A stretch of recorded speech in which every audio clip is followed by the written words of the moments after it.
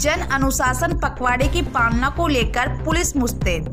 राजधानी जयपुर के अजरोल में पुलिस ने कस्बे में निकाला फ्लैग मार्च। देश में फैल रहे कोरोना संक्रमण की रोकथाम को लेकर राज्य सरकार के द्वारा तीन मई तक कर्फ्यू लगाया गया है। पर लगातार कोरोना के बढ़ते केसों को लेकर सरकार भी चिंतित है। आखिर कोरोना की चेन टूटे तो कैसे? इसी को लेकर चंदवाजी थाना अंतर्गत अचरोल चौकी पुलिस भी अलर्ट मोड पर है। बिना काम बाज़ार में घूम रहे लोगों पर पुलिस सख्ती से अब पैसाने लगी है। इसी को लेकर आज गुरुवार को सब इंस्पेक्टर सुश्री रजनी अचरोल चौकी प्रभारी बलवान सिंह के नेतृत्व में अचरोल के मुख्य बाजारों में फ्लैग मार्च किया गया। और जो लोग बाजारों में बिना काम घूम रहे हैं, उन लोगों को लताड़ लगाई गई।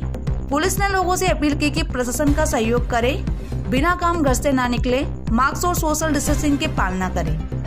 Bureau report A N twenty four seven news Rajasthan